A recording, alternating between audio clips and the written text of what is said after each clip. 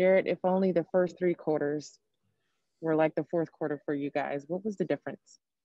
I I think we all could really just see what we did out there in the fourth quarter compared to the last three quarters. We came out, gave a lot more energy, a lot more effort. We didn't back down from anything that the Magic put at us. Jarrett, uh, coach was just talking about the energy that you guys needed to have that that boost in the fourth quarter. Even coming in um, to the the third quarter, that's been an issue for you guys trying to find that energy in the third quarter. Do you think you found somewhat of an answer with that full court press? Uh, a little bit. I don't want to say obviously that, that's that's tough for me being at the top, but whatever I have to do to give my team that extra boost, maybe we should throw that in at the third quarter to get us going. Uh, you see what it did to us on the both defensive and offensive end. It got it sparked us quite a bit. So if we need to, I think that's something we should go to you guys were down 23 points going into the fourth quarter. Was there a message of what, whether it be from coach or amongst you guys, saying that's how you guys could, uh, you know, chip away and try and win this one? Uh, it's double-edged sword in that sense. It's like we have it in us. We we did everything that we needed to do in the fourth quarter, and then the other side is why didn't you do it earlier? You know, you didn't have to do all this stuff in the fourth quarter if you would have just came out in the first three but still just still doing what we did in that fourth quarter. I still I still think that was amazing. Chris. Chris Fedor, Cleveland.com. Hey Jarrett. How's it going? You telling me you don't want to go 94 feet of havoc for 48 minutes? I did it in college, so I'm ready. I'm ready now. You know, like I told Angel, I, I can I can keep going. Um, the last three games with Collin out of the lineup, a, a big responsibility has fallen on, on, Darius when it comes to what he's trying to provide for you guys offensively. What have you seen from him just in this stretch without Collin? Uh, he stepped up and took the challenge. Uh, he knows that uh, his are they front court or back court? The front court, back court, one of the back courts. they uh, that's the backcourt duo. And, you know, when half of you is missing, uh, a lot of weight is on your shoulders. And being 21 and taking that responsibility like he is, he's leading us out there, telling us where we need to be.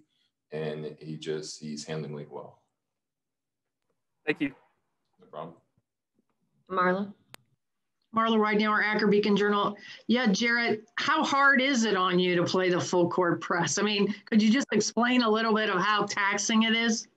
It's definitely taxing.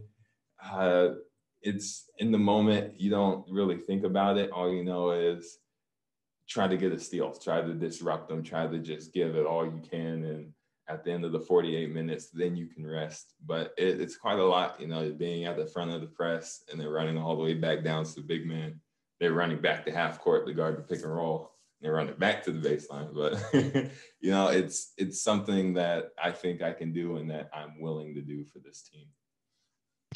And when you but when you start to have success with it, does it almost like give you a little boost to continue, even though it's just exhausting? Yeah, absolutely. It's like when you're making shots on offense, you don't get tired. You know, when we're getting steals in that defensive press, you don't get tired. You go right back up, take the take the next step, and slap the ground and just get ready for another possession. Thank you. No problem. If anybody else has a follow up, please raise your hand. Okay, Angel. We'll do two more. Kelsey, then Angel. Kelsey Russo, The Athletic. Hey, Jarrett. Hey, Kelsey. Um, something you kind of touched on, and JB said too, like, was that spark? What about it? Like, what? Why was it a spark? I guess was it just the added was there an attitude change when it was being successful or what about it like kind of was a spark?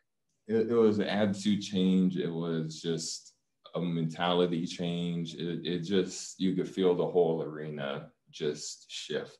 You know from the nosebleeds all the way down to us on the court you can feel that everybody was locked into the game. We were ready to play defense. We were making the right plays on offense. Uh, it just changed everything. Thank you. No problem now we'll have two more, Angel and then Chris. Angel, go ahead. Thank you. Just as far as the defensive end, um, the level of aggression that you guys have to hold yourselves accountable to playing with every night. Uh, Darius walks away and Isaac with their career highs and steals. Uh, how important is that um, on the floor, and what boost did that even give you guys tonight? Uh, it's huge. I, I'm a firm believer in defense makes the offense easier, and they did like how you said a career high in steals. That just shows our offense. I feel like our offense played better tonight because of that. I, I don't know specific plays, but just looking down the stretch, passing the ball, making the right play, everybody was involved. Uh, it just, like I said, it just makes an impact. Chris, last one. Yeah, Jarrett, to follow up, um, what do you feel like contributed to the slow start offensively? Uh, you know, you hate to make excuses. We've been we've been struggling. You know, it's it's mentally, physically, it's tough to see. Well, we had nine guys, help ten guys now with uh, J Mart. It's tough to just see all your guys out. Tough to come back after that long. night. it wasn't long. It felt long. That road trip. Uh, just all that to contribute to this, but still, we have to go out. We're professionals and perform. Wait, I forgot about this. You know Jeremiah better than anybody, right? Um, can you give can you give a brief scouting report of, of what the Cavs now have here? Um, he's great guard. Uh, he knows his role, handles his, his ball, like the ball well, plays defense. He's really all you can ask for in a guard to get the ball up the court, make the right play, and guard his defender. All right, Angel, I'm assuming that was your follow up as well. Awesome. All right. Thank you, Jarrett. We appreciate it. Cedi, I guess we'll start um, with the fourth quarter, the energy that we saw there and how it was different for you guys to find that energy in the other three quarters. Yeah, I mean, that was that that was that was really tough game, you know. Um, I think we as a as a starter, as a first group, like we we have to be better, especially you know in the beginning of the game, and our energy was not was not really good at the beginning. I would say like the like the first three quarters really wasn't wasn't that good. Um, but you know the the character that we showed in that last quarter. I mean, it's a big plus for us, um, and the way that we're playing with you know with uh, a couple bodies out and everything. You know, it's been a it's been a tough tough couple of games for us, but being able to put a great effort in, in that last quarter is a it's a really huge for us. You know, we were down 21, uh, and you know we lost by five points, I think, at the end. But you know, we we fight till the end. But I think that uh, you know it's 40 48 minute game, so if if we really play for three quarter like this, like like the last quarter, then you know we wouldn't have any problems. But at the end of the day, you know this was a good lesson for us, and I'm really proud of the guys, like how we how we fought in the last last last quarter. As far as the lessons in this game, I guess uh, you can look at the defensive end and see how you guys need to establish yourselves, you know, throughout the entire game. Jarrett said defense makes the offense easier. You finished with 19 again for tonight. How did the defensive end make your night easier on the offensive end? Uh, definitely. I mean, you know, we were we we start pressuring them. Uh, we are playing tougher in that last quarter, and uh, we were moving moving bodies really. Uh, our, I mean, at the at the beginning of the first quarter, uh, fourth, fourth quarter, like we were talking to each other. You know, we were saying to us that we can win this game, we can come back, and we really did it. So that was uh, that was really important for us. And uh, at the end of the game, you know, uh, there was a there was a couple of small mistakes that, that, that we did, but at the end of the day, I think this was a uh, that last quarter is a big plus for us. So now we have to just keep growing through that fourth quarter, and let's let's see if we can try to do those in the first three quarters too. Last one for me, as far as the um, effectiveness for the full court press, is that something where you guys will continue to try and build on that moving forward?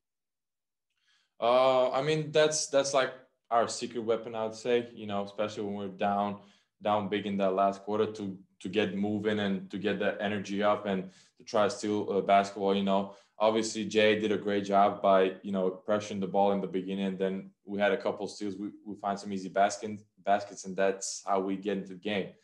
And then you know we were right there, but like I said, there was a couple small mistakes that we did. But like I said, at the end of the day, it's a big plus for us. Marla. Marla Ridenour, Akron Beacon Journal. Yeah, Cedi, I know you can't do the full court press all the time, but do you feel like you almost got more aggressive on offense because of your aggressiveness on defense? Just like that sort yeah, of awakens yeah. something, you know what I mean? Yeah, definitely, definitely. That that was the that was the one part that really, you know, we're playing aggressive defensively, and then that turned in our offense.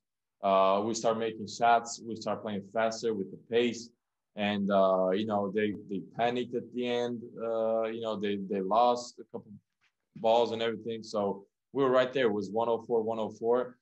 Uh, but you know, uh, like I said, a couple small small mistakes cost us the game. But really, uh, for really what I saw that fourth quarter was a huge for us. And like I said, I'm really proud of, of our guys, like how we fought at the end of the game. We could have won the game. You called it the secret weapon. Are you going to be lobbying to use it more? I mean, of course, that's you know that's uh, something that you know JB is calling, uh, but we know when we're in you know I'd say like emergency call for us when we're down big. That's that's something that we can do, and actually we did a couple times too. Uh, I don't remember which game was, but we were again down, and then we did that defense, and we came back and obviously tonight we we see the we see the results. But uh, that really helped us defensively and offensively too. Thank you, Kelsey. Kelsey Russo, the Athletic. Hey, Cedi. Hey. Um, we talked about and we talked about Darius the other day, but you know he finished tonight with 25 points and 10 assists. Um, just in this stretch, even without Collin, what have you seen from Darius? Um, just kind of like finding one finding his shots, but also you know the assist numbers have been going up as well, and just finding guys. Yeah, he's he's doing a great job. Uh, you know, since especially this month, you know, uh, he's he's playing great. He's uh, he's been putting us in a great positions and offensively. You know, he's talking defensively. He's uh, you know, like I said last time, he's he's leading us right now. And you can see tonight, you know, he did again great job, 25 points and 10 assists. I mean, he's he's playing amazing. Uh, I'm just really so proud of him, the way the way he's playing and the way he's getting better every day. Um, you know, he's gonna keep better and he has a bright future. That's what I can say. Have you seen um I guess like how he talks on the on the court, especially like that change and, and grow at all? Like is he more talkative or just kind of in how he leads you guys? DG? Yeah. Yeah, definitely, definitely. Uh he's talking us every time, really, you know uh, especially you know offensive, offensively he, he's doing a great job by putting us in a in a in a good positions you know setting us everybody um, yeah and uh, you know defensively he's doing a great job also i mean that's something that really if if we do as a team we're going to get better defensively you know and uh, he's he's trying to push us he's trying to help us do that thank you chris chris fedor cleveland.com hey cedi Hey, Chris, I thought you were not going to ask me anything. All right, I won't. Do you want me to? no, no, I said I thought. I, I didn't see you raising a hand, so that's oh. why. Oh, wow. I got you. Yeah. You know, just come in from the rafters at the end of this, Cedi. Uh, you you mentioned throughout uh, the course of this Zoom session that it was meaningful that you guys had the fourth quarter that you did. Why? What? What about the fourth quarter made it meaningful for you guys going forward? Do you think? Uh, that we didn't give up uh, you know, we, we could have gave up like it was 20 point game.